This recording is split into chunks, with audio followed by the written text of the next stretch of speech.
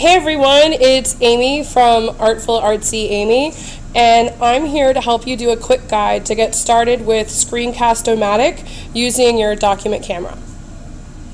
So if you go to screencast-o-matic.com, you're going to see something just like this. You don't have to register, you don't have to make an account, you can actually make your own videos and publish them to the web and actually save them as a file without having to make an account, which is something that's great, especially for you as a teacher, but also for your students when you don't want them to have to use an email.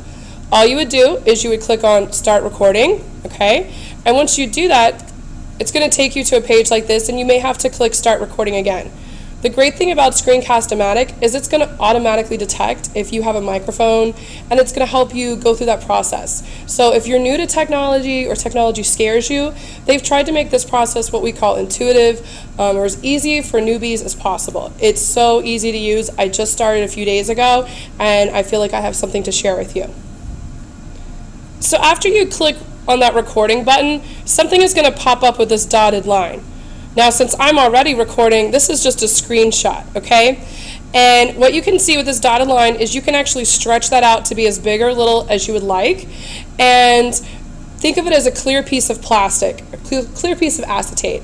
Anything that is underneath or inside of this dotted line is going to be part of your recording, okay? So that makes it really easy if it's like an embedded video and you don't want to do it full screen, you can still have it small, all that kind of stuff. In this case, you could see that I was getting ready to start a screencast on the mola, on, excuse me, the Kuna people, and they make molas, of course, right? Now, if you're upset about this area right here, once you click record, this will disappear. Your record button is this little red button right here. You'll click it to record it'll count down from you, three, two, one, and then you'll start recording. If you want to pause at any point, you just click again. You can pause, click around, and basically what it is is whatever appears on your screen is what Screencast-O-Matic is going to record. Once you're finally done, there'll be a button over here. You can't see it again because I did a screenshot and it wasn't available then, but there'll be a button that says done. When you click on done, it'll give you some choices to save the video to your computer. You could publish it to YouTube, or you could publish it to Screencast-O-Matic.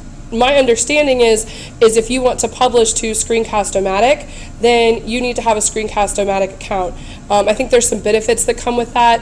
Um, I can be honest with you, I, I, don't really need them yet, so I'm not worried about it. I've been publishing to YouTube with great ease. Um, and that's also really easy because it keeps you from having a bunch of video files saved to your drives, okay? Now I want to show you exactly what it does. So we're on my computer right now. I can click around. I could click up the web pages I was on. Um, I can click over. You can see there's my school web page, right? I can click over here. I can show you. Um, this was the warm up we were working on this morning. Um, here's a PowerPoint we were looking at. Here are all my folders. So you can see I'm able to click around with a lot of ease. The big question that all of you have had for me is how are you getting what's on your document camera to be on your Screencast-O-Matic? It is so easy to get images from your document camera onto your Screencast-O-Matic. So I'm going to show you my setup to see if that helps you.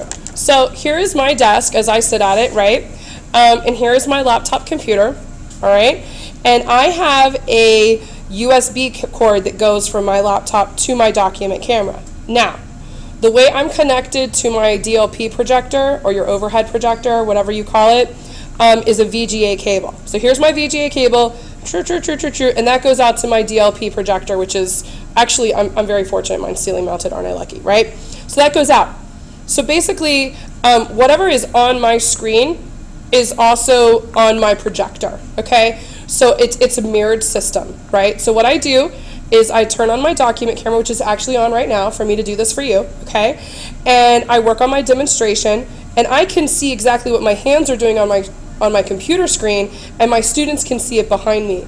The reason why I like this setup is I can look at my students, I can check and see that make sure everyone's paying attention, but I can also see in real time what it is they're seeing so I know if it doesn't make sense. I like this setup because as you can see, my right hand is your right hand, my left hand is your left hand. So it's a really nice way to show them how to manipulate materials, okay?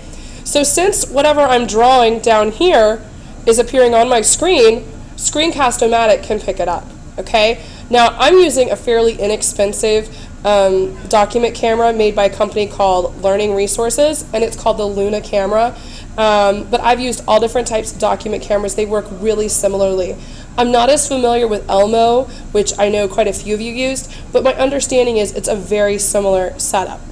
So I hope that this is something that can kind of help you get started with Screencast-O-Matic. Um, it is so wonderful. You can hear my voice is already hoarse, but because I have pre-recorded demos, I'm able to preserve my voice, focus more on my students paying attention, um, and I can also upload things to the web. Hope this has been helpful, and I hope I'm able to come to you soon with more helpful Screencast-O-Matic tips. Have a great one.